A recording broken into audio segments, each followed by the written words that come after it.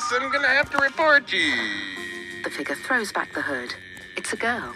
She's pretty with pink and blue streaks in her otherwise black hair. Love struck, Emmett stands frozen, clutching his mobile phone. She frowns at Emmett, who continues to emit a low pitched drone. Turning away, she sighs and sprints off. Where are you going, miss? I didn't mean to scare you. I'm, I'm so. Tumbling from the top of a mound of rubble, Emmett plummets down a hole. He bounces down a long and winding tunnel, rattles around a loop-the-loop, and lands painfully on a ridge. He teeters towards a room decorated with a rainbow mural. Hey, that's not so bad. His hard hat lands on his legs, launching him in the other direction over spiky weapons.